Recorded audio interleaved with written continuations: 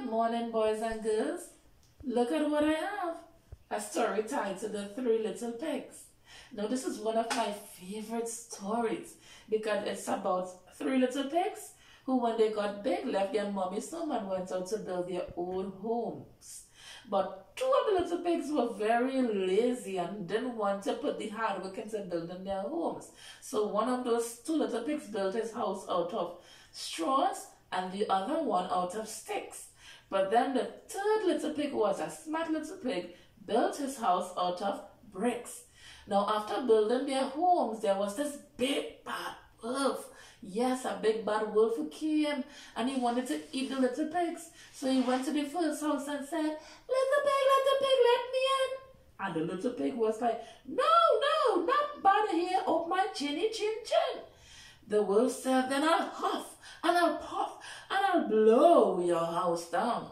And he did. He huffed and he puffed and he blew the first little pig house down. The same thing happened with the second little pig. Now when he went to the third little pig, no matter how he huffed and puffed and huffed and puffed, he couldn't blow the house down. So he had to go away sad.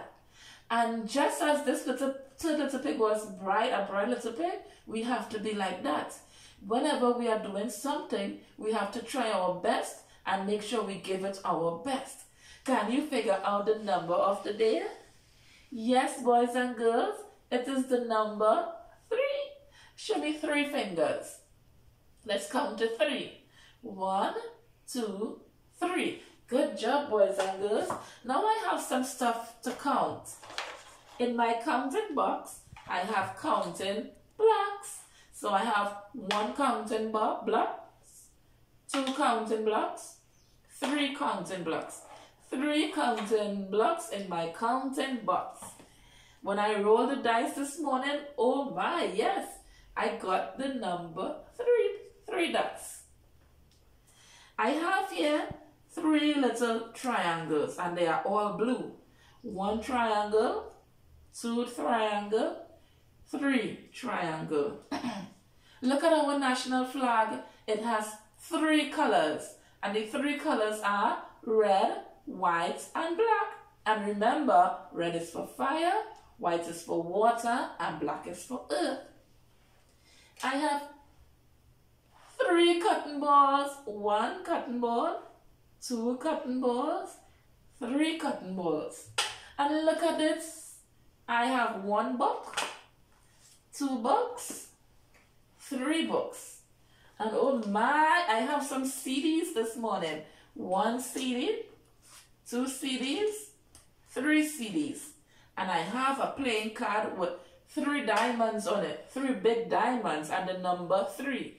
One, two, three big diamonds. Now this is the number three. You go around and around. And on my card I have three balls. One, two, three. Good. Now I want you to practice writing the number three in the air. So put your pointer finger halfway around, halfway around. That's the number three. One more time. Halfway around, halfway around. That's the number three. So I'll show you how to write the number three on the board. On my board I have halfway around, halfway around. And we're going to count the apples on the board. One apple, two apples, three apples. Good job, boys and girls. Now that we know how to write the number three and how to count to number three, we're going to spell the word name three. So let's go. We're going to clap spelling three first, slowly so that you can get it. T H R E E three. High five in the air. T H R E E Up at the roof. T H R E E three. Down at the floor. T H R E E three. Wave at me.